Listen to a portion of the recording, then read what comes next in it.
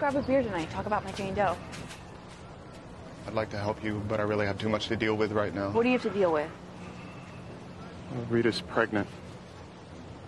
Say again? Rita's pregnant. You're lying. I'm not lying. A baby?